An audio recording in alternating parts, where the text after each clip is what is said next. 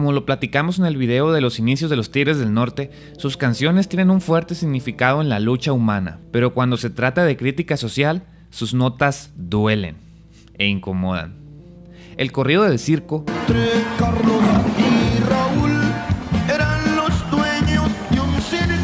comienza con su compositor Jesse Armenta, que había tenido una colaboración con los Tigres en los años 70, con el corrido de Vivan los Mojados.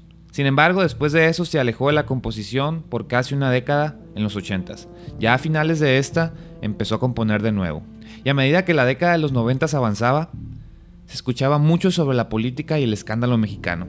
Jesse escribió el corrido que era muy diferente a todo lo que se había hecho, pues aunque usaba la metáfora del circo, era la primera vez que se utilizaban los nombres de los implicados tan directamente en las acusaciones.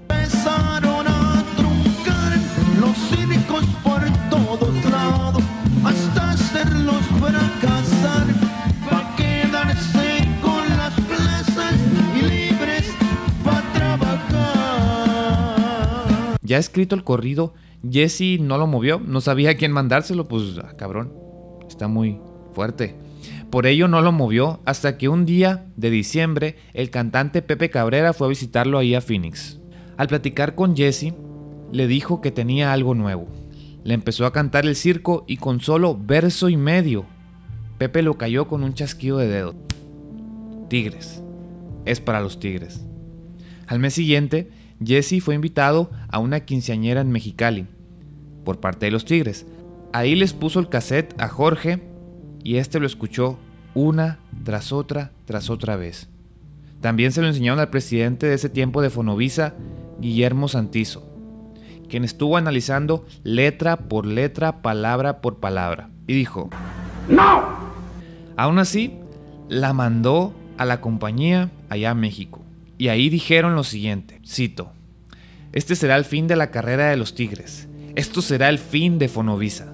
Pero aún así, decidieron mandar el corrido a nada más y nada menos que a la Secretaría de Gobernación para negociar si podían sacarlo a la luz. El presidente de ese entonces, que era Ernesto Cedillo, el que había precedido a Carlos Salinas, lo escuchó y dijo, grábenlo.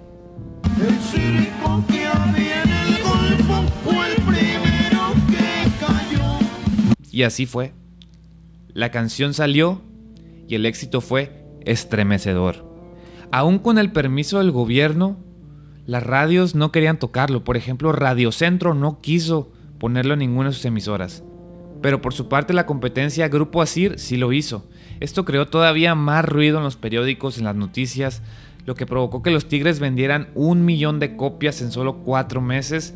Llegó a los Billboard, Salieron en la revista People, en la revista Time.